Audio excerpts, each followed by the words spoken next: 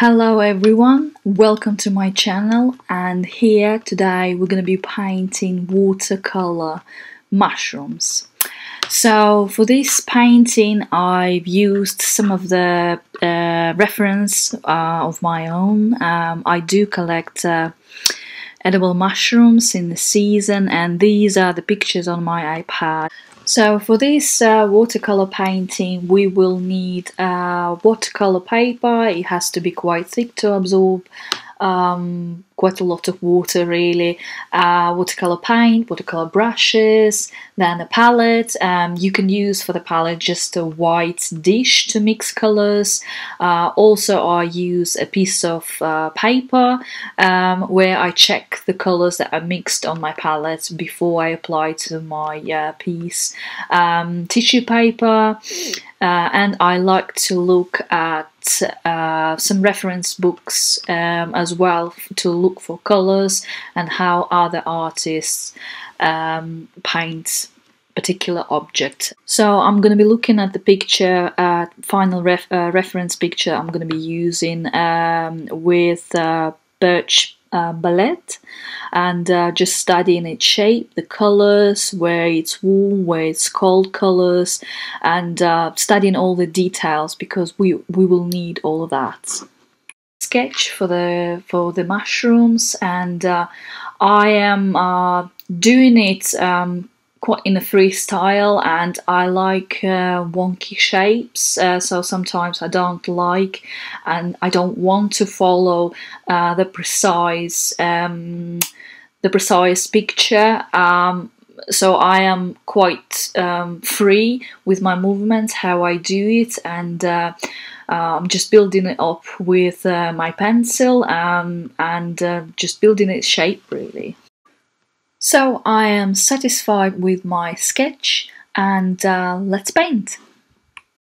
This is just to show you how I prefer to work. I like to have everything I need on the right hand side, including my palette, uh, my water, my mixing palette and tissue paper and paints on so all of that is on sort of on right right hand side uh, which helps me to decrease uh, chances of accidental drops. So I start with um, choosing what uh, paints I'm going to be using, what colors, and uh, I start pre-mixing colors and I look at the same time at the reference picture and think what colors I would need and then it's time to choose the right brush. For this watercolor painting, uh, for the size of it, uh, these mushrooms, I prefer to use quite big brush because it's essential and it's going to be easier for uh, first uh, washes, uh, so I need quite a big brush. I'm starting layering uh, first layers using quite diluted um, watercolor and uh, I am not afraid of using different colors and uh, I am not after hyperrealism. Um, I do like it when it's looking quite wonky as I said before and um, I am just um, applying um, common sense really and uh, what is shown on the picture. You can see on the on your reference picture where's the light where's the shadow and uh, I'm just uh, building it up and uh, trying to see what colors I can see on my reference picture. And uh, I am applying them to my picture uh, but they are very diluted so it's the first layer and I am not using bold colors. As you can see here I'm also using quite a lot of the uh, technique which is called lifting a pigment. It's where I'm with the full body of the brush uh, lifting the pigment and uh, sort of wash away the color um, and with this method I am building up shape, the, uh, adding volume to my picture. I also use with this paper and with this um, watercolor painting I use quite a lot of the technique that's called wet on wet. Uh, I love seeing how watercolor blends uh, on different layers and I love adding up more water and do washes and do uh, lifting the pigment at the same time to create its shape and color. So here I am painting stems of mushrooms and I gradually add color and darker tones as I paint uh, so it's a really gradual process, and in watercolor, you should really start with um, very light tones and then you add on more and more color. However, some artists do it in the reverse way, and uh, I know that some of the botanical artists they uh, start with darker tones first and then paint the, its way to lighter tones. So it's really not necessary, but it's just uh, the rule that most people follow, but again, who likes the rules?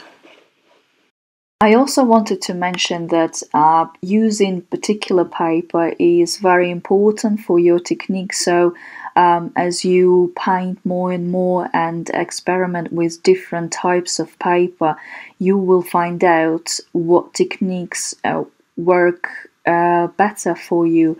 For example, here I'm using Arches cold pressed paper and I'm I'm in love with this paper and it really works with uh, techniques that I use because like I, I, mentioned earlier I use quite a lot um, wet on wet and then uh, lifting the pigment to create shape. And for this uh, for this for this for these techniques you really need a really rough paper that will tolerate rough movements on the paper because you probably wouldn't be able to do it nicely and neatly on um, uh, hot pressed paper because it's quite delicate and uh, I am not a big fan of using um, hot press paper uh, because it doesn't really work with my technique and I don't like how, how it looks. Um, so I do prefer uh, rough textured uh, cold press paper that can absorb a lot of water, that can uh, show a lot of blends and a lot of movements of watercolor on the paper. That's what I like.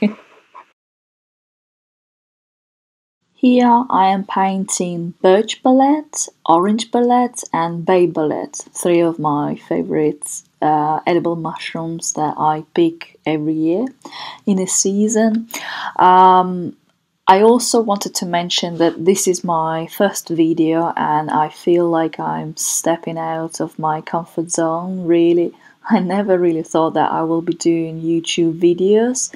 Um, so I would love to hear any of your thoughts and uh, you know receive any feedback you've got for me to see uh, whether or not you are interested in this type of content and uh, I am very, very open to hear your ideas on what uh, you would like me to paint or what you want to see me teaching.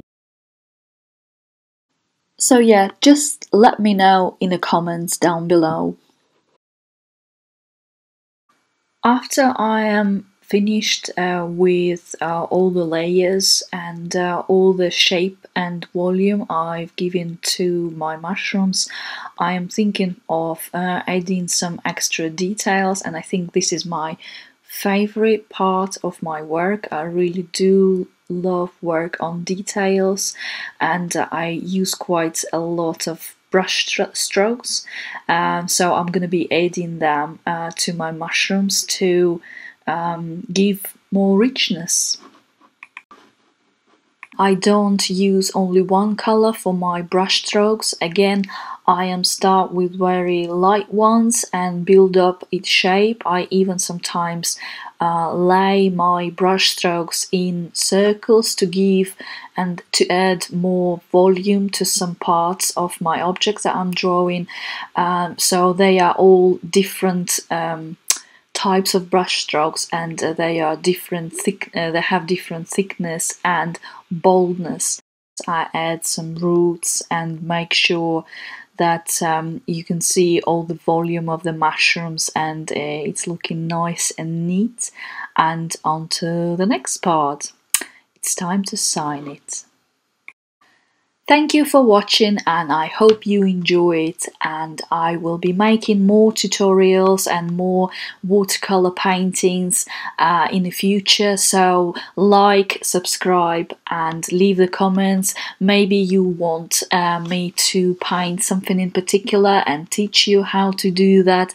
Leave all your comments below and I will be very happy to answer them. Thank you.